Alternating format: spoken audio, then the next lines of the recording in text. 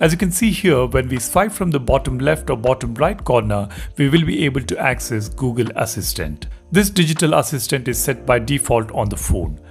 Now there is a way to replace this assistant in just a couple of steps. All you need to do is just go to settings, tap on display, now tap on navigation bar.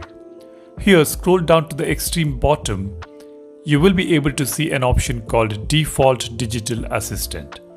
Just tap on that. Here you can select the ones you want. We have Bixby Voice, Finder, Amazon Alexa as well. By the way, Amazon Alexa I have downloaded it from Play Store, so this option will appear in this section after you download Amazon Alexa application. We can also select Samsung Internet which will take us to the browser directly when you swipe from the corner.